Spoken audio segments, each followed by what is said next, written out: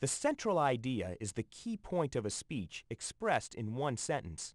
Can you identify the central idea in this excerpt? If you think diets are the solution to losing weight, I have some important news for you. Crash diets are ineffective because they cause you to gain weight in the long run. Today, I'd like to explain to you how this happens.